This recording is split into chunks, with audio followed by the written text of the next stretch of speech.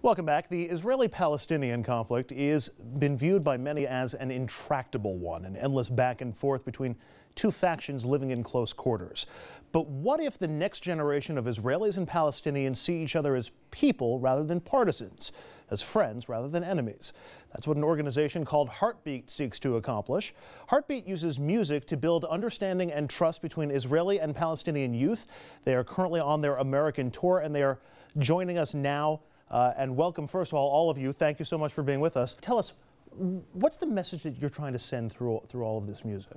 My message is for people to see me as a Palestinian who carries an Israeli citizenship, but still I am not viewed as equal. My town suffers from a lot of uh, violent acts and crimes, and the police will not step in, and we don't have security.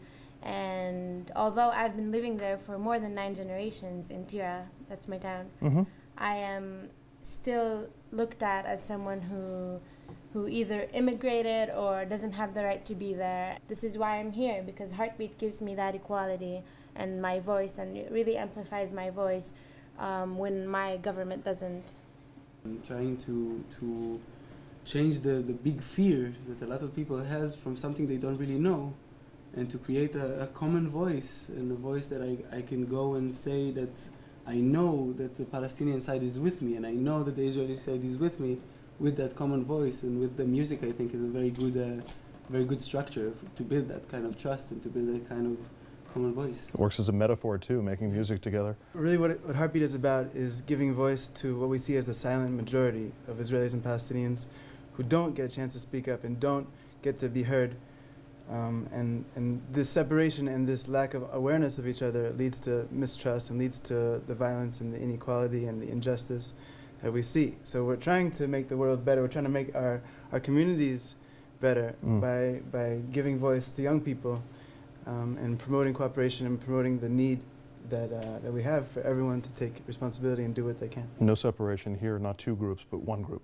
That's what we need. Okay, what, uh, what are you playing for us? Uh, uh, we'll play a very new song that is called uh, Kulshi Sababa, which is in Arabic. And uh, Can you tell me what it means? Uh, yeah, Kulshi Sababa means everything is cool. Ah. All, all, is cool. But it takes a very, very cynical stand on the normalization of, of war and missiles in our country. And the main lyric is in Arabic, but we're saying Zilat asuk kulshi sababa faj'a saruch shuhad baba, which means I went down to the market, everything was cool. All of a sudden a missile fell, what the heck, basically. There you go. that's the song. Yeah. Ladies and gentlemen, Heartbeat.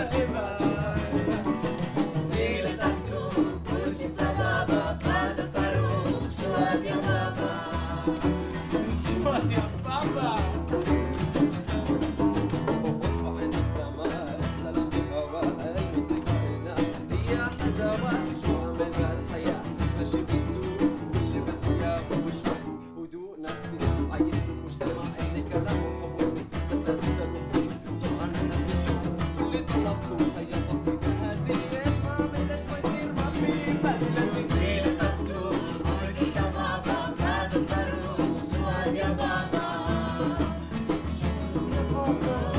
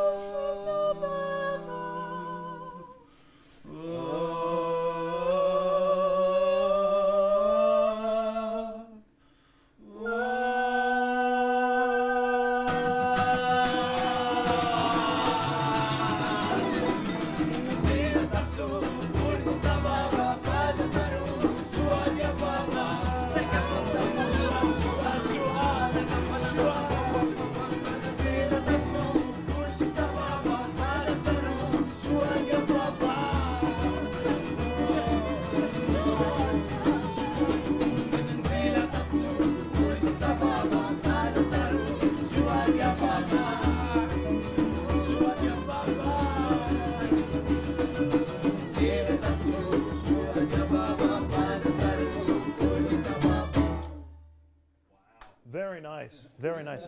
Great job. Thank you so much. Thank you. Thank you. Thank you. Heartbeat, they perform tonight at Le Poisson Rouge in Manhattan and on March 3rd at Yale University. Heartbeat. Thanks very much, guys. Guys in the back, too. Excellent. We'll be right back. Stay with us.